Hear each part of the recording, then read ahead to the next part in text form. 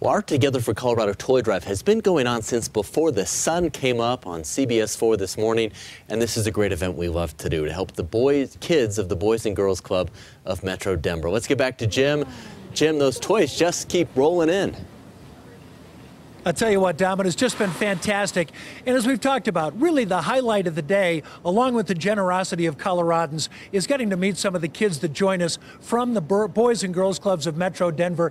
10,000 strong. The clubs serve 2,000 kids every day around town.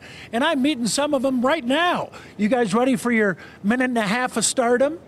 All right, we'll start. We got seventh graders all the way down to third graders. What's the best thing about seeing all these toys? Kids being able to have a choice and have fun with toys. What's the best thing about being a member of the Boys and Girls Club?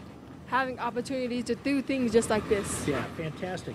Now, it's a lot of play at the Boys and Girls Clubs, but you guys do a little reading. What else do you do to be a better student? We also do get to do our homework. Really? Are you pretty good about doing your homework? Uh, no. What's your favorite subject? Um, playing sports playing sports. Well, I guess that could be a subject. And you, young man, what do you think about seeing all these toys? Have you picked out a couple that you'd like to see under your Christmas tree? I would like to see a Nerf gun and teddy bears and something for my whole family and my mom. Well, we've seen a lot of great stuff out here today.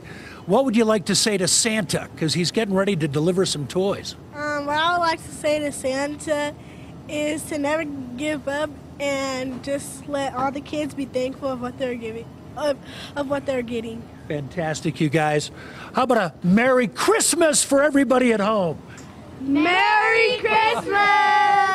Certainly is, thanks to the generosity of Coloradans. Remember, we're getting all set to wrap up here at the King Soopers, but you know what?